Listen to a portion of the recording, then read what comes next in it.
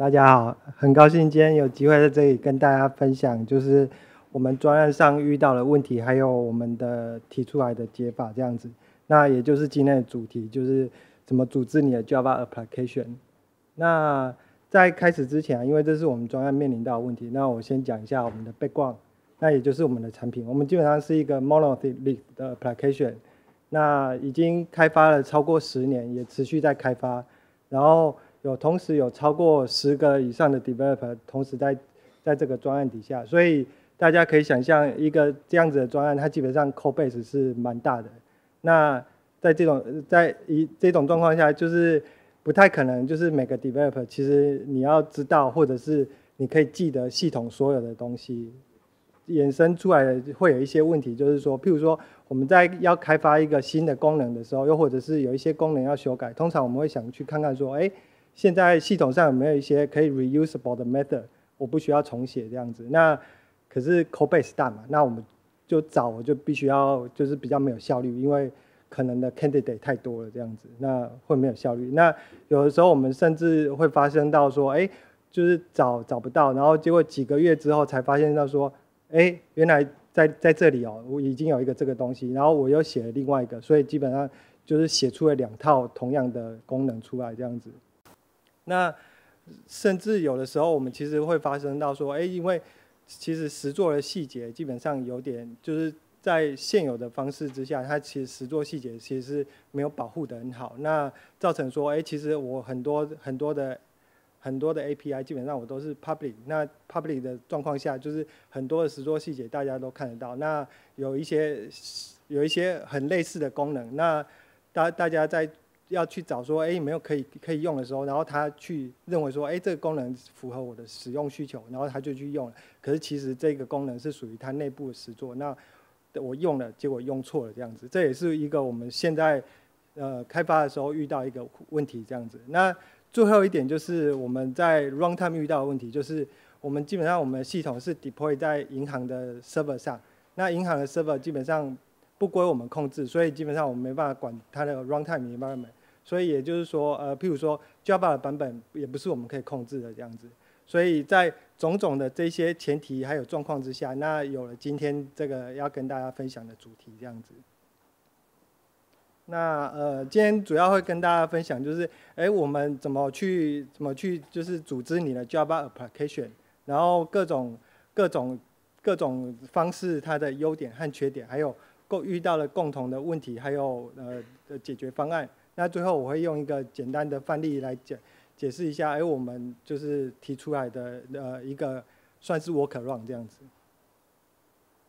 嗯，那首先就是呃这这几种是比较常见的呃组织你 Java application 的方式。那第一种大概就是学生时期常用的，就是把所有的东西写在一个或多个，然后把它都丢在一起这样子。那第二种基本上就是我们也是常常业界常用的，就是我基本上就是把 technical layer。我还去切割这样子，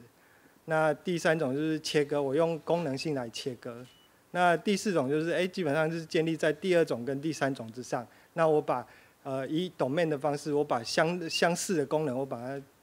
组在一起，然后形成一个散 module 这样子。那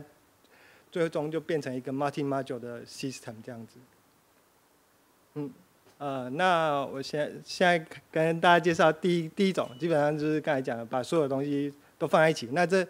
好处就是显而易见，基本上你不用，你完全不用想说，哎，我要放在哪一个 package 啊，我的 case name 可能要叫什么，你可能都可以叫什么 generic 啊，general 啊，common 啊，所以你基本上什么都可以往里面丢，你不用去想，不用想什么 design 的问题。那可是缺点也很明显，基本上你很难 maintain，很难 debug，然后基本上你你的异动因为基本上很大，你很有可能改了这个影响到别的，所以你很容易造成错误。所以基本上这个除了在学生时期的 homework，你基本上不太会在业界看到，除非，呃，你同事想陷害你，或者是对公司不爽，不然你基本上看不到这种东西这样。那第二种方式基本上就是，哎，我们把 technical layer 来去做切割，譬如说我们可能 controller 啊 service，我把相相类似的东西，我把它放在放在同一个 package 底下，那。通以这种切割方式，通常就是哎，我们要完成一个功能，通常我们就需要说，哎，我跨不同 package，我才能够协同合作来完成一个功能这样子。那它的好处就是相对于前一个，它基本上，呃，它还算还算是蛮简单的一个切割方式，然后它有一有比较好的 structure，然后它的内部的资讯，它有某种程度上，它也是也是有一些保护的保护在里面。那譬如说。呃，我们在同样在 service layer，那譬如说你的 business logic 可能比较复杂，那你可能需要协同几个 service 来完成一个一个功能这样子。那这时候协同合作的的 service，它的 method 你就可以是 package private，所以你就可以有一定程度的资讯保护。那呃就是外外面的配，就是譬如说 action，你的或 controller 你就看不到它这样子。那呃，另外一个就是，哎，有的时候，譬如说我我的基本上是业务需求，逻辑上一些一些些变动，我可以把一些异动，我可以把 isolate 在呃某特定的一层这样子。那它的缺点也其实也是蛮明显，就是它基本上内聚力很低，因为基本上你要完成一个功能，你基本上。你要跨 package 的协同合作，你才可以完成。那它也是 high coupling，它必须等于说跟刚才讲，它你要跨 package 这样，你不太可能可以自己完成这样子。那你任何的修改，基本上你很有可能会影响到一个一个修改，你会影响到别人这样子。然后也因为我们会有跨 package，所以你的 modifier 你都必须要 public，因为你基本上你不 public 你没办法，你你的 controller 就是看不到你的 service，所以你必须 public。那也也因为 public 造成我们内部的资讯其实没办法去做很有效的隐藏这样子。那第三种切割方式是基本上是 by feature 的方式来切割，那就基本上就是说，哎，我把我要完成一个功能，那我把相相这个功能相关的 class，然后把它放在一个 pack package 里面。那它的好处是，哎，比刚才 by by by technical layer 的方式来切割，它它。更 structure，然后它基本上我可以在一个 package 里面，我就把一个功能完成。我基本上很不太需要去跟其他人互动。那除非说，譬如说我对别人有 dependency，我才才会需要一些互动这样子。那我资讯其实我也可以保护得很好。那因为基本上我只要有一个对外接口，其他内部我全部都可以把它隐藏起来。所以我的异动基本上也不太会影响到别人，除非别人有依赖我或，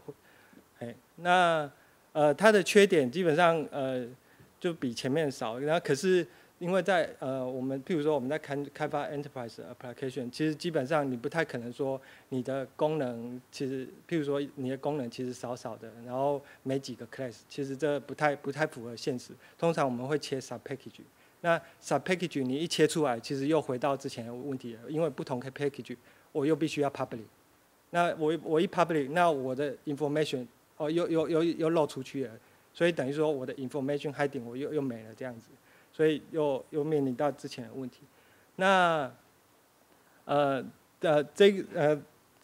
在这个方式是说，哎，我们就是譬如说我们把那个不同的呃，我们把相相以 domain 来切割，那把不同哎把相相似的 feature 我们把它把它。股品在一起，那组成一个 sub module，那等于说，那我们会有一个 multi module 的 project 这样子。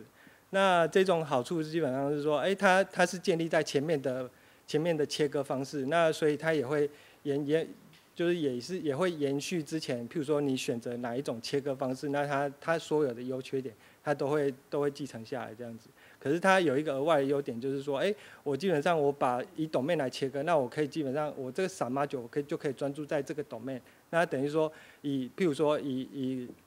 以高内聚力来讲，它我可以把相关的 feature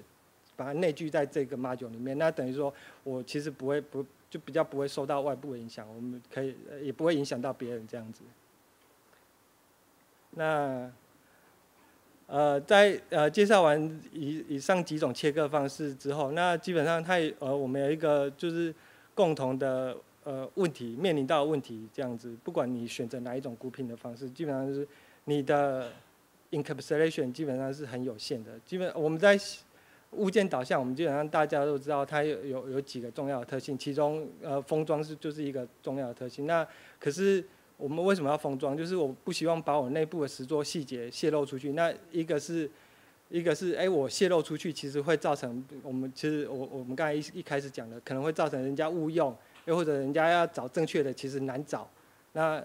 又或者是其实我等于说我资讯没有保护好，那我其实不想让人家知道，可是知道，那其实这对我来讲是一个伤害。不管是哪一种，那基本上我们用前面的哪一种切割方式，基本上我我们在呃封装的部分其实是很有限的。那可是，在呃就是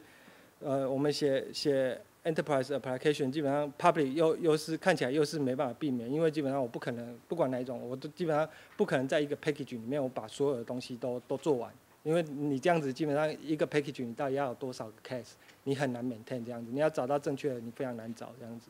那所以呃有就是造成这些问题，那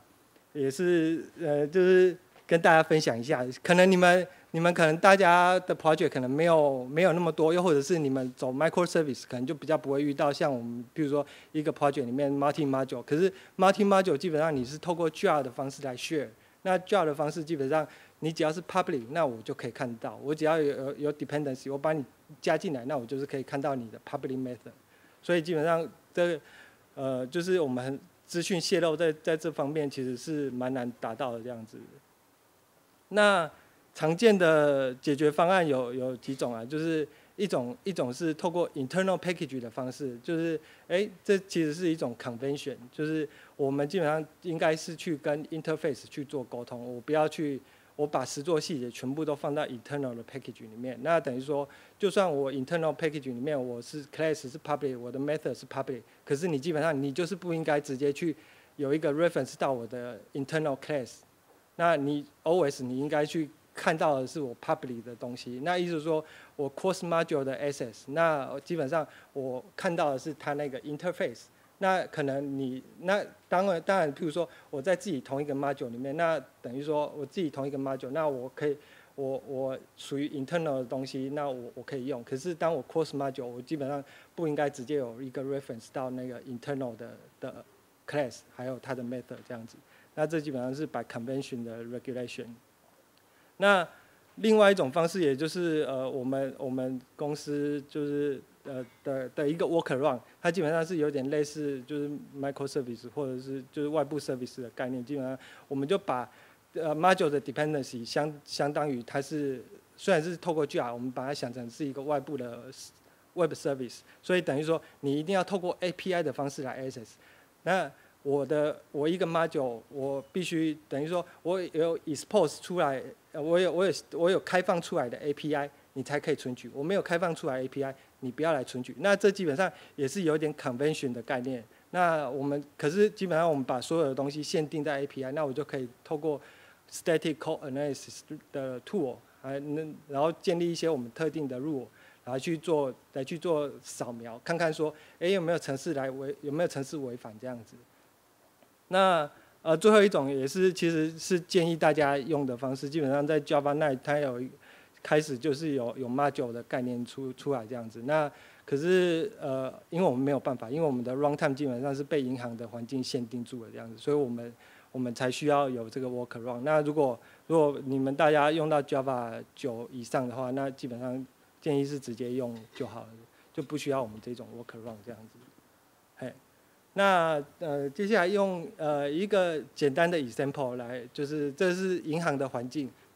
那大家可以想象，譬如说我们这个简单的 example，我我有两个 module，一个是叫 onboarding。那 onboarding 它负责的就是呃客户他想要在银行开户，呃这这个大家可能有点难想象，客我们去银行开户感觉是很简单，其实我要开马上一两个小时就好了。可是我们我们的客户基本上是 private bank。那等于说他是给那种哎很有钱的，可能是像连胜文这种很有钱的。那很有钱的，那他他就必须要有一个严格的资格审查，因为他会怕他有有一些就是背景，他譬如说有犯罪记录啊，又或者是他可能有洗钱，他会怕他他这是洗钱账号各各种点点点，就是各种可能性这样，他要去确保说这个客户是安全的这样子，所以他必须有一些资格的审查。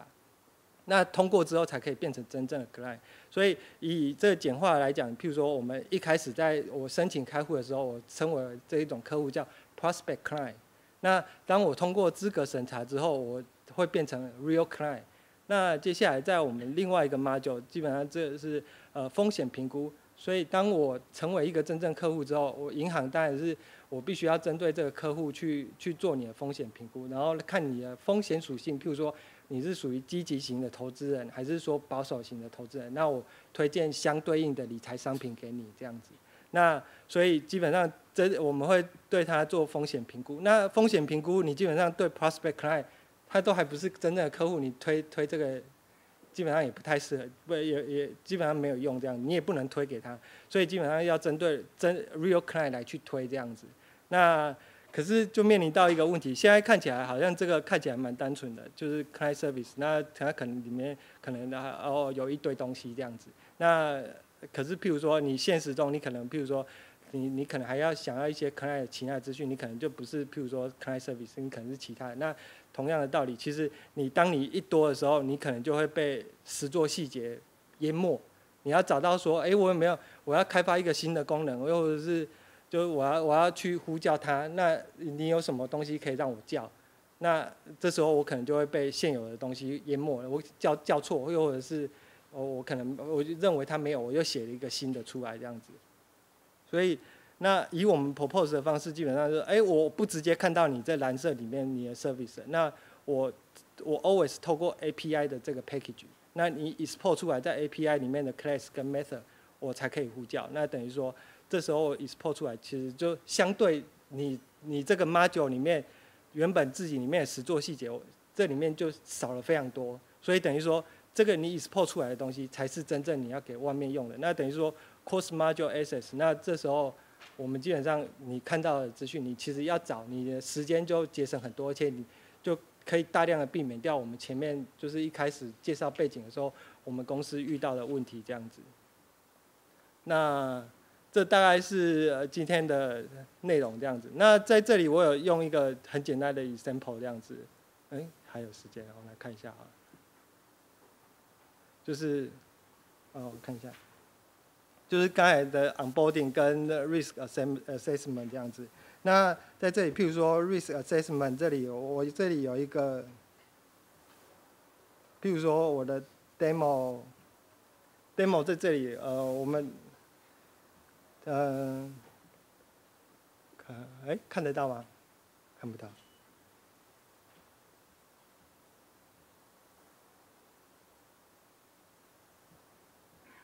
可以吗？啊时间到了啊，抱歉，我没注意到，抱歉啊。那那有什么问题吗？这个你们自己事后再来看，就是这个跑这个这个 link 在这边，你们可以自己来看这样子。哎，那有有什么问题吗？可以问问题吗？好。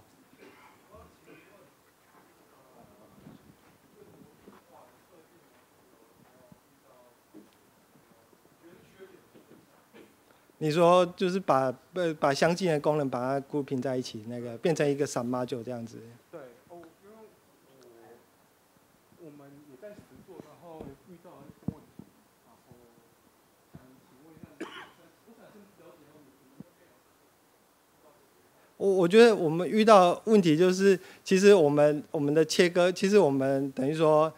没有没有没有，我们比较常遇到问题是 module 的定义其实没有很明确。譬如说，这个 module 的责任是什么？这个 module 的责任是什么？那譬如说，我们有一些譬如说叫 core 啊，叫叫叫譬如说 c o m p o n 啊之类的。那其实你你有一些，你其实应该尽量把它定义的很明确。这个 module 其实你就是负责什么东西这样子。那在我们定义其实不是很明确的状况下，那而且我们譬如我们虽然我们公司有 core review，可是可是没有专职的 reviewer，所以没有办法投注太太多时间在 code review，在你的譬如说 package 的 design 那那方面。所以我们其实有的时候遇遇到一些问题是在说，哎，譬如说你该放在这个 module 里面的东西，你放到别的 module，那可是在第一个时间点其实不会发生，不会发现到问题。可是，在通常发现到问题是在第二、第三个时间点，当人家要用它用那个东西的时候，我我找到这个东西了，可是我发现说，哎。我要用的时候，它其实我们 package 的 dependency 可能会造成